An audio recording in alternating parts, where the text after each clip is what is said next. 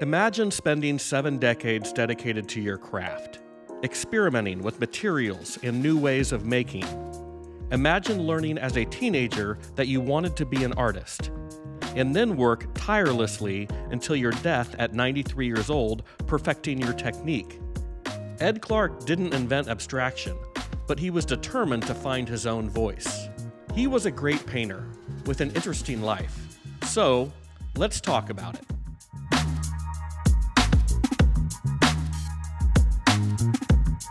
Art lovers, welcome back to the channel. My name is Christopher West, and this is the place where we talk about all things modern and contemporary art and design. And I've strayed a bit recently, covering the Damien Hirst controversy and Kim Kardashian getting sued by an artist foundation. So I felt like it was time to get back to some good old painting with one of my favorite artists, Ed Clark. Clark wasn't always an abstract painter. In fact, he won a gold star in an elementary school for drawing the best tree. But after two years of serving in the Air Force during World War II, he went back to Chicago and, with the help of the GI Bill, enrolled at the Art Institute of Chicago. But it wouldn't take him long to realize that being a black painter in the United States during the late 40s and early 50s presented some, well, challenges. So in 1952, he left the segregated U.S. for more welcoming pastures and headed to Paris. For Clark, Paris represented a space of social and artistic freedom that was unattainable in the United States. He said of Paris that it was the freest of the cities and a true magnet for artists. We could meet among artists of all countries, with no distinction of class, race, or political ideology.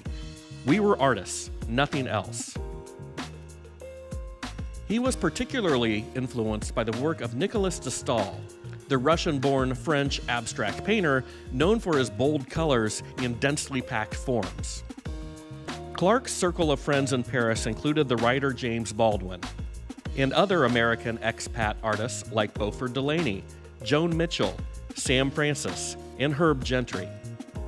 And it was here where he fully embraced abstraction and started painting on a monumental scale.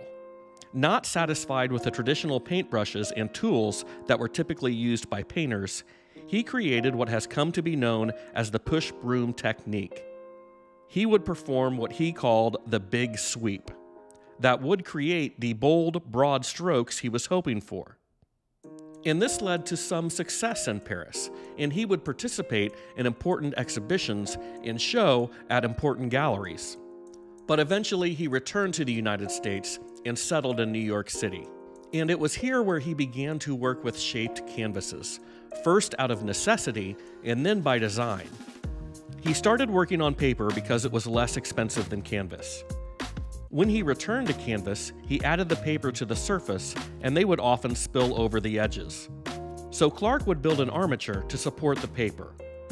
The final result was not just a painting, but a collage and sculpture as well.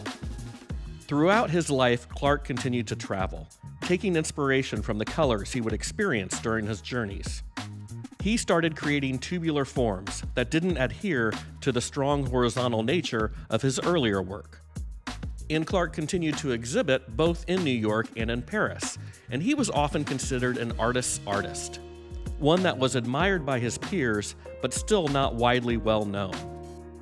And this would change after a 2013 solo exhibition at the Art Institute of Chicago, after which he would rightfully be recognized as a leading figure in the second generation of abstract expressionists.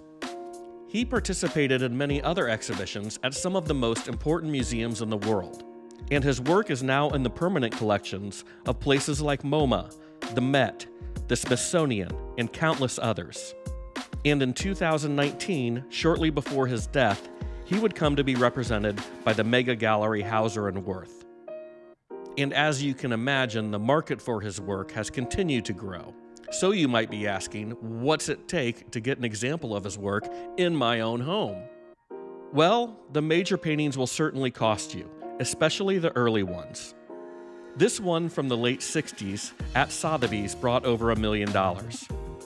And strong work from the later periods can still run well into six figures, like this one at Christie's. He did make a few prints that give you the feel of Clark for a lot less. But the sweet spot might be his works on paper. These give you some of the gesture and texture you see in the large paintings, but for a fraction of the price. They can run from the high five figures to the low six figures. And if you're interested, I currently happen to have one for sale. So don't hesitate to reach out either via the comments or my website listed below in the description. Remember, everyone who makes it to the end is a complete rock star, and if you like 20th century painting, I've created a playlist, and I'll link that right here. Make sure you're subscribed for more, and I look forward to seeing you on the next one. Ciao.